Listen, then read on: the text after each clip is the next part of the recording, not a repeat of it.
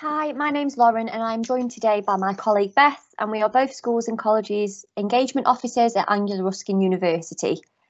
Today we're going to talk you through the process of writing an effective personal statement to support your UCAS application. So where do we start? So many of you may already be aware, but if you're not, UCAS stands for Universities and Colleges Admission Service, and this is a service that you're going to use in order to apply for university.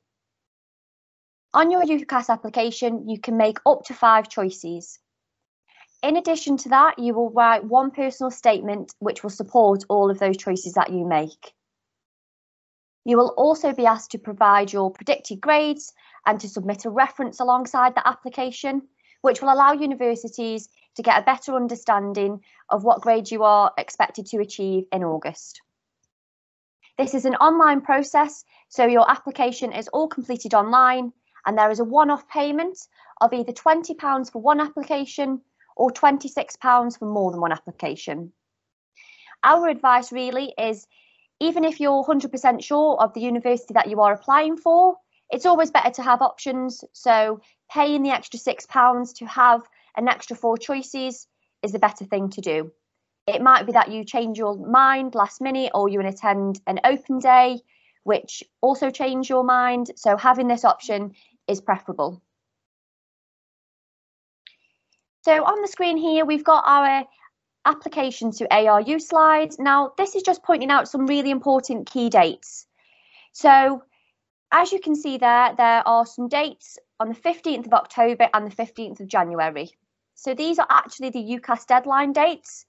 The 15th of October deadline is if you are applying for Cambridge or Oxford or any courses in medicine, dentistry, veterinary science. For all other undergraduate courses, the main deadline is the 15th of January at 6 pm. So this is a date that you need to remember and a date that you need to put into your diaries. If you can submit your application before the 15th of January, please do so. This gives you a little bit more time to get other things into place and to get everything prepared for your journey to university. If it is that you are not entirely sure where you want to go for university, between the months of September and December, it's a really good opportunity to get yourselves out and about, visiting open days, finding out more information online, reading about course overviews. This is going to give you a better understanding of what you want to study and where. So what is a personal statement? So according to UCAS, a personal statement is your opportunity to tell universities and colleges about your suitability for the course that you hope to study. You need to demonstrate your enthusiasm and commitment, and above all, ensure that you stand out from the crowd. So, I think what's really important to remember at this stage is that your personal statement is really the only thing that um, a university is going to have which you have written. So it's the only thing that an admissions officer or an academic who is reading that personal statement is going to have before they actually meet you. So it's really, really important that the statement is reflective of you and it includes lots of different skills and experiences that you have. So what are the basics? So as I said right at the beginning, you only have to write one personal statement. So if it is that you are still deciding on your courses, okay, that is something you really need to consider.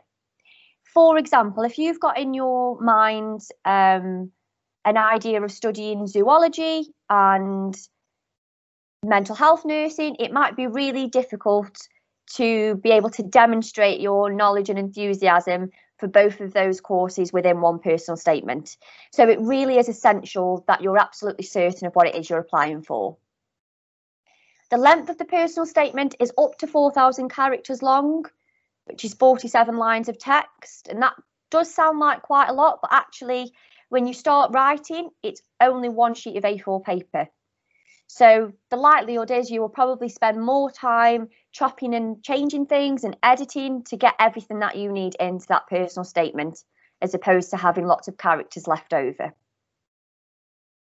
What we recommend is you use either Microsoft Word or an alternative to write your personal statements. The reason that we say this is because the likelihood is you're going to write uh, maybe two, three, even four drafts of this. You might do lots of editing and changing, so it's really important that you can you can do this with that document. In addition to that, they will also have features on there where you can count your characters and your words, as well as checking for any spelling or grammatical errors before you actually submit it. Once you are happy with the personal statement, you can then copy it into the UCAS apply button when it's finished. Really important at this stage that you remember to stay within that character count. If, for example, you submitted into UCAS Apply a, a statement that was 4,020 characters long, what will actually happen is that last 20 characters will be completely cut off. So you'd be essentially sending a statement that's not complete. So please do make sure you do stay within this maximum character count. And finally, this has to be your own work. Now that's for a couple of different reasons. One of them being that UCAS will use a sophisticated piece of software where your statement will be sent through. So if you have copied and pasted from anywhere or you've used um, a peer's statement, then this will be picked up. So it's better to not submit work that's not your own. And in addition, from a university perspective, we want to know about you. We don't want to know about other people. So it's really important that this statement is unique to you and includes everything about your own personal experiences.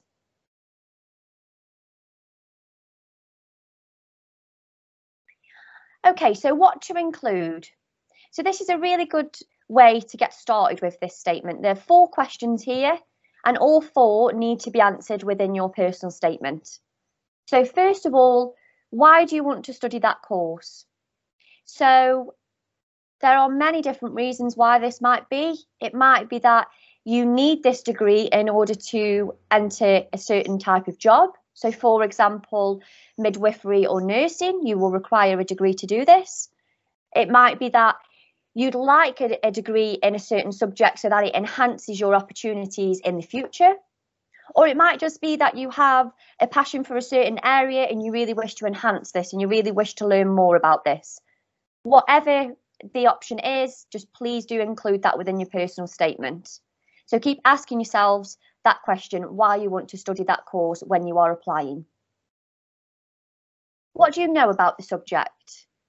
So first of all, universities are not expecting you to be experts within the field. They're not expecting you to have read every book there was ever made about that subject. But what we are expecting is that you can demonstrate some knowledge and to tell us really that you've done your research on that area of study. Okay, so if it is that you are applying for a course that you've not studied before, that's absolutely fine. But do some research around that, do some reading if there's any specific theories around that topic or um, journals that you could read that you could quote within your personal statement. This is really good way to tell the reader that you have done your research. Goals and aspirations. So we're well aware that not everybody knows what they want to do after they finish their degree, and this is absolutely fine. But if you do have any idea of what you might want to do in the future, then please do include this. In addition, if it is that you just want to go to university to study a degree to sort of enhance your own personal skill set, so your own personal development, organisational skills, building independence, all of those kinds of things, that too can be included, which is absolutely fine to write about. And finally, why you? So, why are you a suitable person for this course? What sets of skills do you have and what experiences do you have that make you suitable for the course that you're applying for? I'm now going to hand you over to my colleague Beth, who's going to talk you through our three sheet method, which will be about experiences and skills to help you write this statement.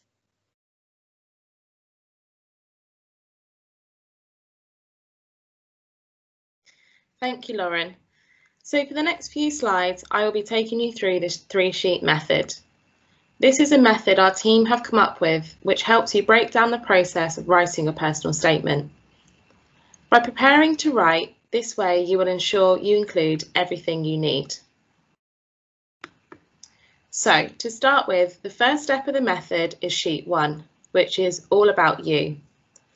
Have a think about the experiences you have which relate to the course or the courses you are applying for.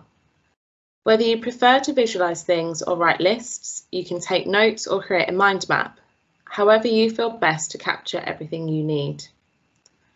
The first part is your interests. Have a think about different activities you've done over the last few years. For example, you might have attended a course through your school or college which inspired you to do a certain subject at degree level. Generally, experiences within the last five years will be the most relevant, so try to elaborate on them the most. Older experiences are just helpful for you to get the ball rolling and to get you thinking about your skill set. Also, it doesn't matter how trivial some of your experiences are. For example, if you're a prefect in secondary school, you might not think this is relevant, but it could work for you if it demonstrates, for example, your leadership skills. Next up is any clubs or groups you belong to. You can elaborate on the skills you've learnt from them later on, but just remember to relate them back to the course you're applying for. Your proudest achievement can be difficult to talk about. It's human nature to put ourselves down, but this is your opportunity to highlight the positive things you have achieved. You might have recently completed a Duke of Edinburgh Award or passed your driving test. Whatever the achievement is, it's great to show your commitment and enthusiasm to improving your personal development. Now, work experience can be difficult to talk about, especially if you haven't got any yet. Think about voluntary work you might have done, or even if you've helped out family friends with tasks.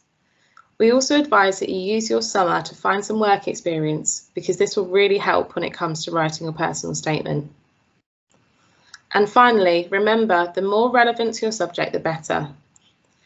If, for example, you studied a science-related subject at school or college and are planning on doing biomedical science at university, you could use school trips or practical experiments when you talk about your achievements.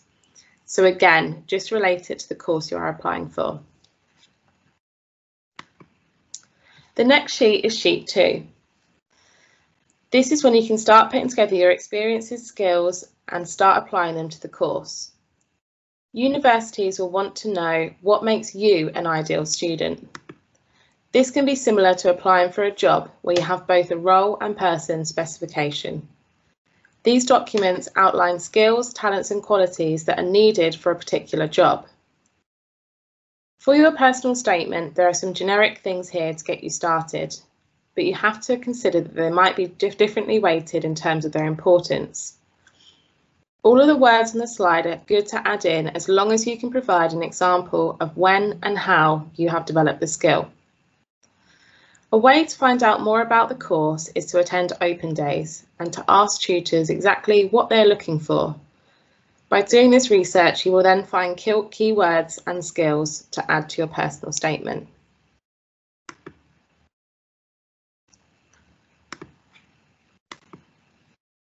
So what's next? Now you need to link everything together from sheet one and sheet two. The next three videos are examples of how to do this.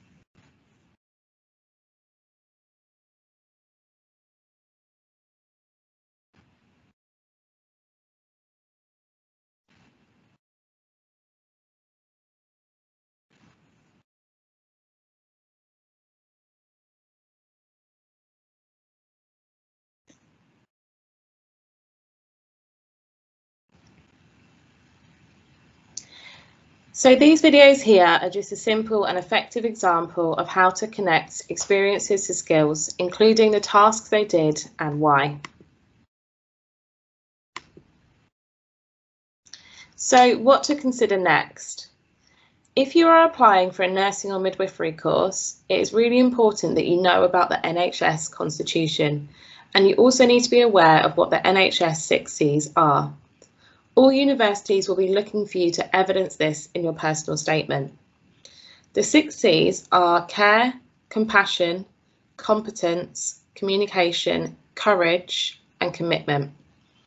So make sure you spend some time familiarising yourself and developing an understanding so you can embed the information into your application. So on this slide, we have some common do's and don'ts when it comes to writing your personal statement. It is firstly vital that you show lots of enthusiasm and commitment to the course. It is, however, possible to be too enthusiastic, so be careful that you're not overdoing it. Next is to check your spelling and grammar. Consider your statement to be a professional document that you have spent time working on. Any spelling mistakes or grammatical errors can make your statement look rushed and it just shows that you haven't proofread. Another good tip is to use your own language. It's very easy to want to impress and people jump onto the thesaurus to change some words. Yes, it is perfectly okay to do this once in a while, but only if you understand what those words mean and they fit well within the sentence. Next is to take your time and to organise your statement into a logical structure. This makes sure that it makes sense to the reader. Sometimes the way that we, we write is different to others, so make sure you keep it simple and get your family and friends to go over it for you. Also, as we have already covered, you must back up all your claims with evidence. This means that any experience you've had, you must add in the skills and qualities you've learnt from it. On the flip side, there are also some examples of things you should avoid at all costs. These include repeating yourself, which is actually very easy to do. This can happen if you're using the same words or the same experience to reference different skills. To avoid this, make sure you have several things you want to discuss written down and you need to make sure they all present you in a positive light. Secondly, you should never lie. It's not a great start and you will also get caught out if you're invited to an interview. Next, listing skills and not evidencing them. For example, it's very easy to say you're a good team player, but universities want to know how, why, and what experience you've had of being a team player. Cliches are very common to use. For example, people might say they have a passion for fashion.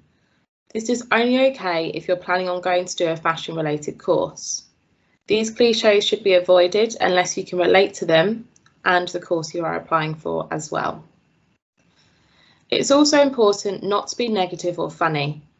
Some people might try to do this to make their personal statement stand out.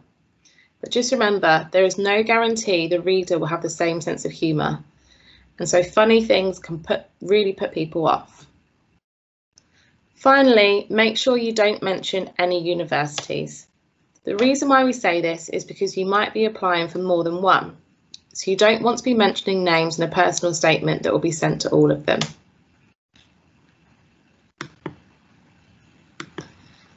This next slide highlights some of the most common sentence starters. You can see the numbers at the end, which is how many times it has been featured over the last couple of years. The first one says, from a young age, I've always been interested in. This has been used a lot by students in their personal statements, and it's something that we really have to ask ourselves is it true? Have you really dreamed of studying business management, for example, since you were a child? Try to think of different ways to be open and honest about yourself. At the bottom, we have also included a quote, which is another common thing people include, and they also try to start with it. If you do decide to use a quote, consider your character count firstly, and always think about the relevance it has to your course or you as an individual. We want to hear from you and not anyone else, so quotes won't necessarily enhance your personal statement. To summarise, I'm now going to hand over to Lauren, who's going to go through some sentence starters and sentence finishers.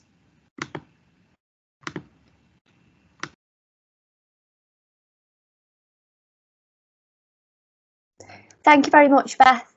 So now that we've spoken about the basics of the personal statement and the three sheet method, which will allow you to get a better understanding of how to include your skills and experiences, I'm now just going to run through with you some basics about how you should start the personal statement and how you should end it.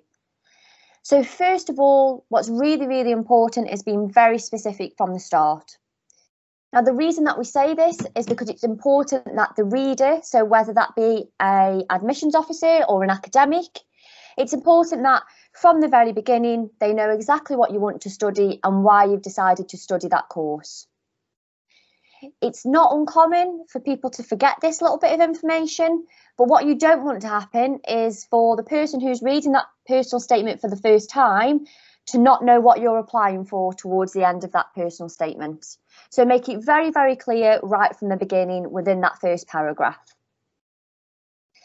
This brings me on to the next point, aim to engage the reader. So if you are making it very clear from the beginning what you want to study and why, this will engage the reader. So they're going to want to know a little bit more about what experiences and what skills you have which make you suitable for the course you are applying for.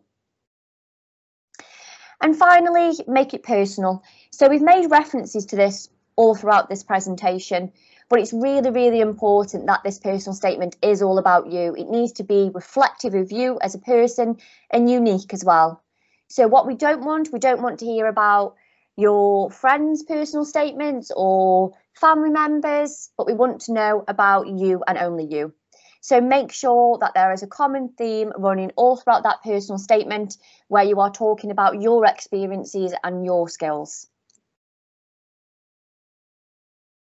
So finishing strong. You have obviously 4,000 characters in order to write this personal statement, but what you don't want to do is to get to the end of that personal statement and not have any characters left just to finish that personal statement, okay? So just make sure you've set aside some characters that you can write, quite a strong finishing sentence basically. It doesn't have to be, you know, a big chunky paragraph, just make sure that you have summarised nicely and it links right back to the beginning of that personal statement.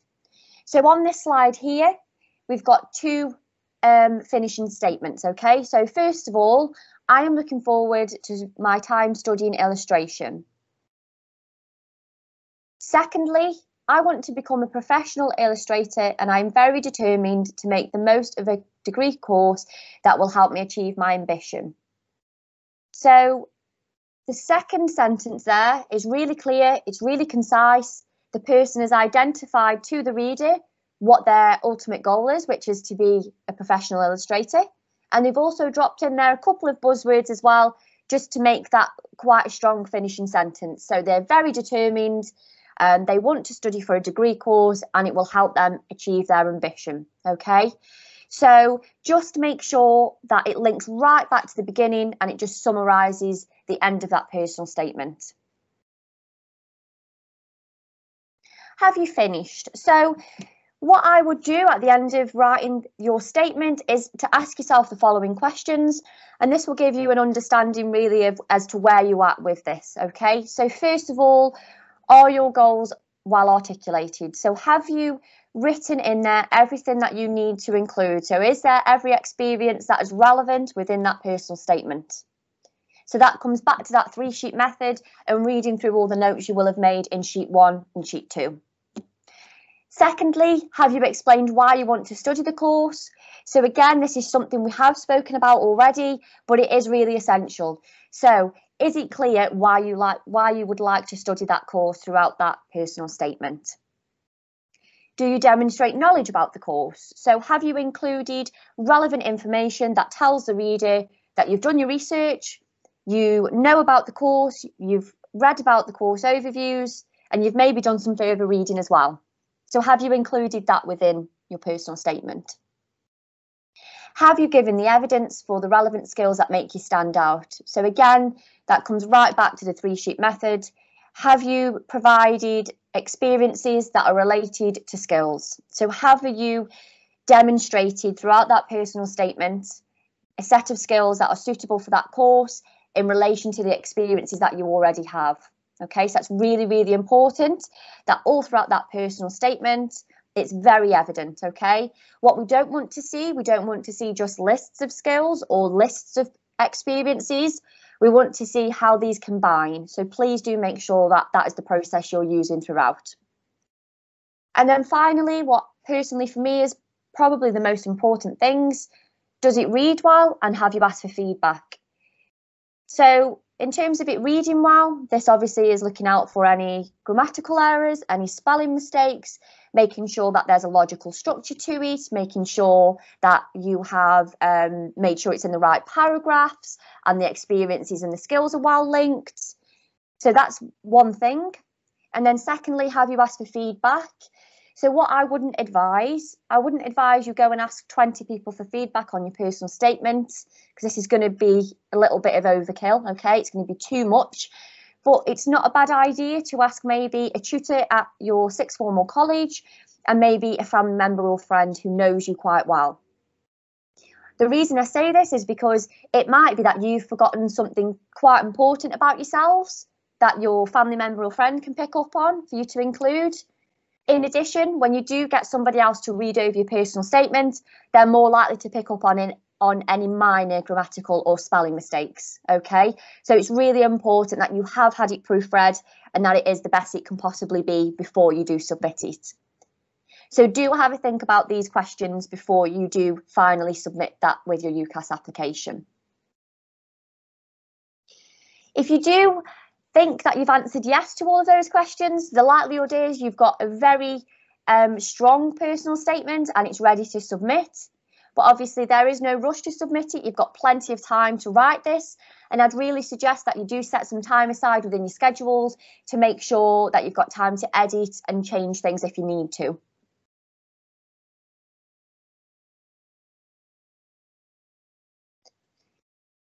At ARU, we're running lots of virtual events at the moment. So if you haven't joined us already for an open day, we have an open day coming up on Saturday, the 17th of October, and other dates throughout the academic year. So please do keep an eye on our website at www.aru.ac.uk to find out more information. If you did have any questions for us following this statement talk today, please email us at answers at aru.ac.uk you can contact us at our Twitter handle, Anglia Ruskin. And again, for further information on any courses, accommodation, student finance, or anything about ARU, please visit our website www.aru.ac.uk.